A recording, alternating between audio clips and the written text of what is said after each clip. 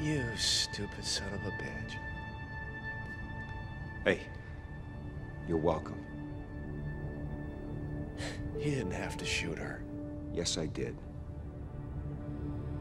She was shutting them down. I had no way of knowing that, neither did you. They didn't stop because you shot her, they stopped because she told them to. Carter said she was losing control. Now, if just one of those damn things got out of this base, developed its own personality, we would be royally screwed. You just killed the only chance we'll ever have of stopping them. Look. I'm sorry. But this is the way it had to go down. And you know it.